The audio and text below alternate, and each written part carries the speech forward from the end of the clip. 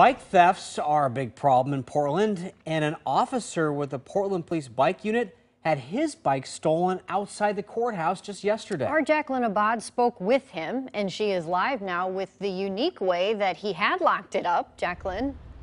Dan Jennifer, well, one of the best ways to lock up your bike is with a U-lock. But yesterday, Officer Dave Sanders was in a rush to court, so he used his handcuffs instead. And when he came back, it was gone. Now take a look at this picture. This is his bike. It's a blue Marin nail trail bike with a police logo on the side. Ironically, Officer Sanders had just come from a bike theft task force meeting. He locked up his bike outside the Multnomah County Courthouse. He was only gone for about an hour and a half, and when he came out, it was gone.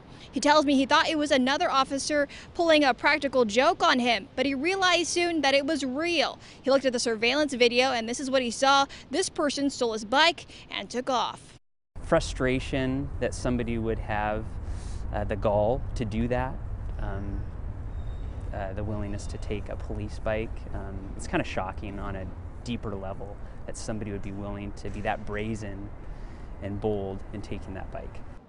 It's estimated a bike is stolen every hour in Portland, about 27 a day. Sanders says this experience is valuable because it showed him what it's like to be a bike theft victim. And he, now he has experience about going through the process of filing a report. Now, police are looking, are still looking for the person who took his bike. If you happen to see the bike, call police. This is a good reminder for people to make sure that they are registering their bike. You have pictures of your bike and you have a serial number for your bike.